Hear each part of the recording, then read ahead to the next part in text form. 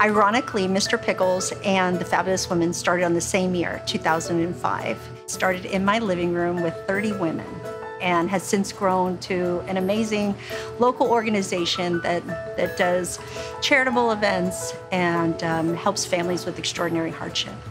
It's many people coming together to do something good.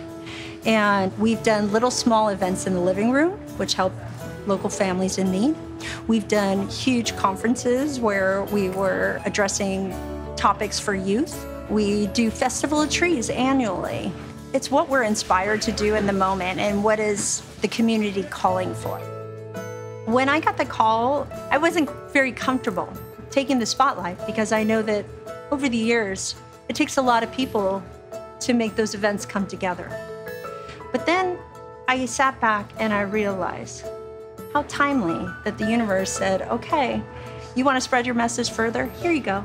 There is no person more deserving than Krista Gawronski for the Spirit Award because she is the true definition of someone who ignites the spirit in a community. We're lucky to have Krista.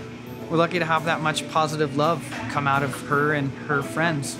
I didn't realize I'd fall in love with charity until it was happening. And then I became a witness to families um, going through extraordinary hardship and seeing amazing things happen in the community. And I felt like this was my calling. So I started writing about it. And I felt like it was in celebration of everything my parents had ever taught me.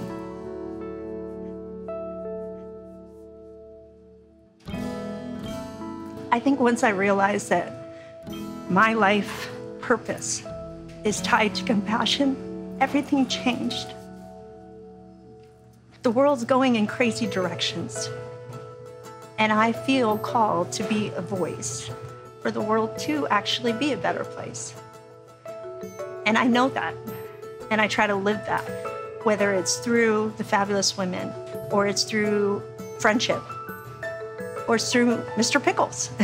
I'm just called to really spread the message further. And it's really the timing of our lives, it's perfect. It really is perfect.